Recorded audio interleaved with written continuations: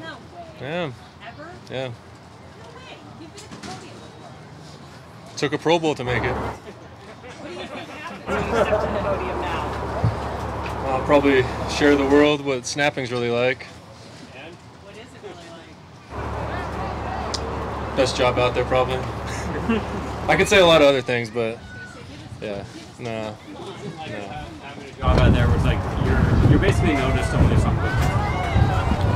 Yeah, I guess that's part of the job, right?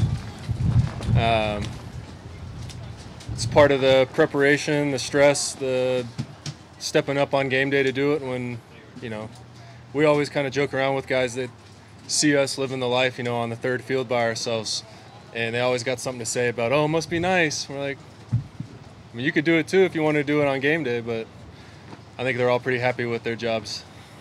How would you characterize that? Talking to Jason, you know, he's, he's saying obviously you need to be flatlined, right, with energy level. Meanwhile, the rest of the team is feeding on the 12s. Doesn't make the non-situation for you to be. Yeah, that was like one of the first things that I was told early on in snapping was you can't ride the highs or the lows, and it's really just I'm sure that those guys probably said it. It's just one kick at a time, one snap at a time. That um, if you're too high, something you're going to try too hard. If you get too low and you start overthinking, um, stuff something will go bad. It's really just you know preparation through the week, preparation and practice. It's something now that we've done a million times that um, you just go out and, and trust you know how you've prepared and be ready. You mentioned the three of you doing your own thing. And what's that? I mean, you guys been together now for three years. What's that relationship like between the three of you spending all the time together? Yeah, it's great. I mean, it's great on and off the field. Um, coming in now with, with us being together for a few years in a row here, it's been um, it's been really nice for our operation. Just you build chemistry off each other. You know cues and um, timing and rhythm.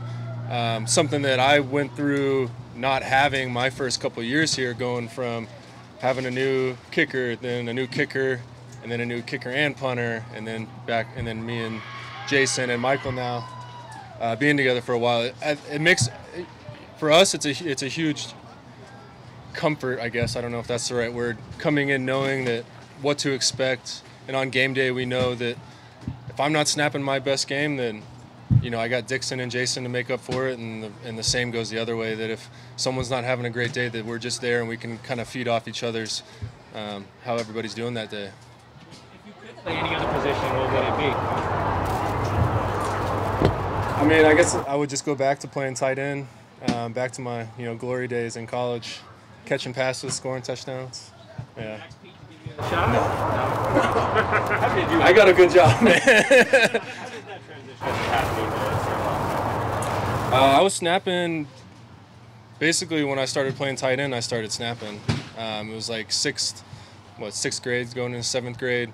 Um, my special teams coach in high school was the first one that really started teaching me the, the fundamentals of snapping. Um, and I just I snapped along with playing tight end ever since high school. Um, funny story when I was getting recruited to Harvard, I sent my film in as a snapper and as a tight end. Um, and our first day of practice, they were telling the snappers to go out early with the kickers, and I was like, "You guys want me to go out there with you or not?" And they're like, "We didn't even know you could snap."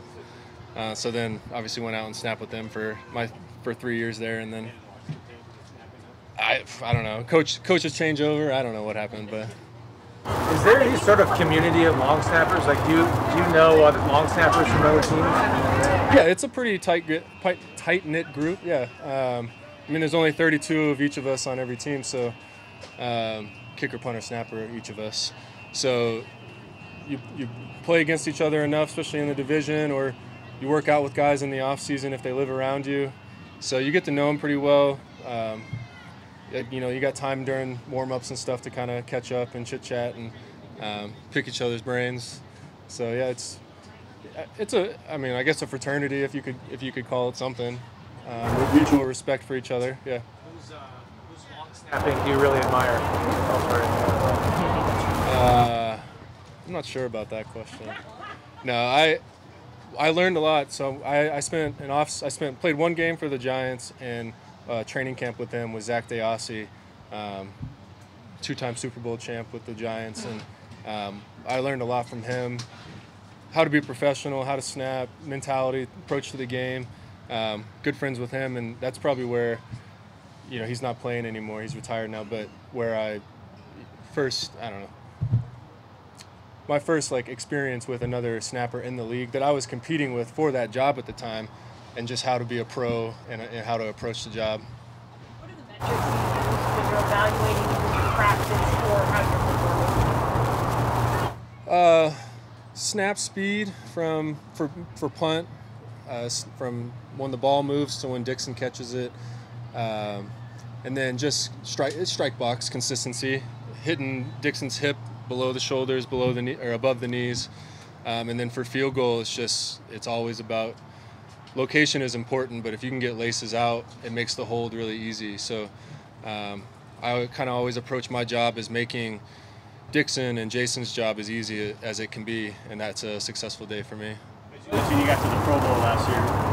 As a snapper, I mean, is there something like was it your best year, or how do you how do you gauge that? Like, Yeah, I think yeah, I think it was. I think I had a handful of good years before that, but I think last year everything was with all, with all of us was really clicking. You know, I think um, I think easily, we easily all could have been in the Pro Bowl last year if um, you know uh, Jack Fox in Detroit had an unbelievable year, and then uh, Younghoe Koo in, in Atlanta just had so many opportunities to kick field goals um, that both of those guys, Jason and Dickson, put up numbers that could have been a Pro Bowl if it was another year. So I think once we're all when we're all clicking together like that, and it goes back to the consistency of year after year having um, the three of us together. I think it you know it helps us perform and be comfortable doing well.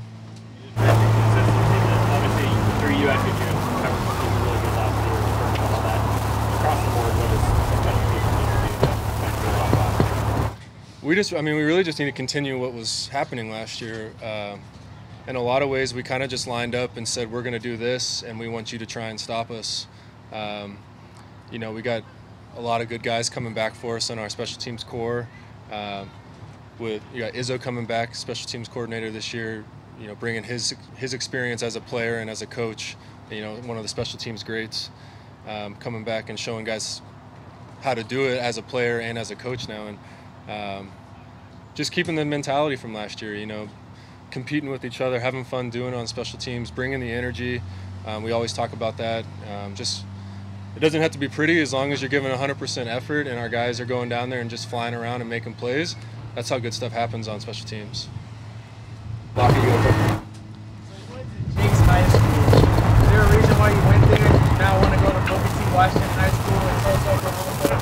And regardless, how was it growing up in Oklahoma and how do you lose those ties?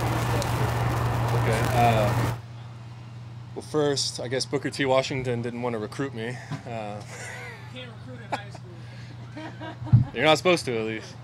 Uh, yeah, and then uh, Oklahoma is the roots, man, right? Like, uh, started playing football from as young, young as I could be, playing flag, going up to tackle football, um, part of your life.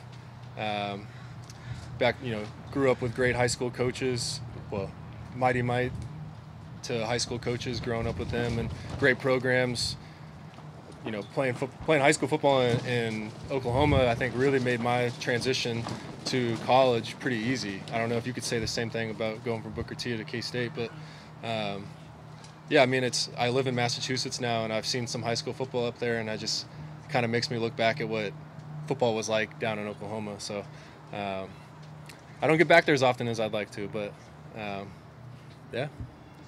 Your school, uh, did they play Booker T? We did a couple times. We were most years we were in different divisions, but we scrimmaged a couple times, and then what was it? Uh, is that your senior year? Freshman year, they beat us like six, seven. I was a freshman though, so I don't. Were you guys in 5A back then? It was worse. You were still in 5A. We was in 16 that first year. Year, that's my first year. senior year. Does your school play where Trey Brown went to? He was our Tulsa Union's our rival, backyard bowl rival. Yeah. We was five. So, we beat them in scrimmages though. You guys good? Thank you, Adam.